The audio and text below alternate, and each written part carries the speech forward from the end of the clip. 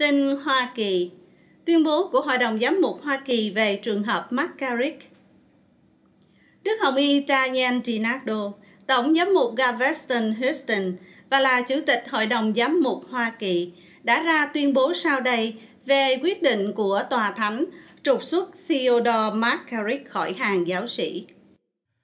Toàn văn tuyên bố của Đức Hồng Y Dinado như sau. Thông báo của Tòa Thánh liên quan đến McCarrick là một tín hiệu rõ ràng rằng lạm dụng sẽ không được dung thứ. Không có giám mục nào, dù có ảnh hưởng đến đâu được ngồi trên giáo luật.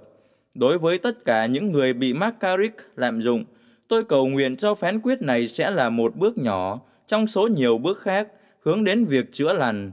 Đối với các giám mục chúng tôi, điều này củng cố quyết tâm của chúng tôi phải chịu trách nhiệm trước tin mừng của Chúa Giêsu Kitô.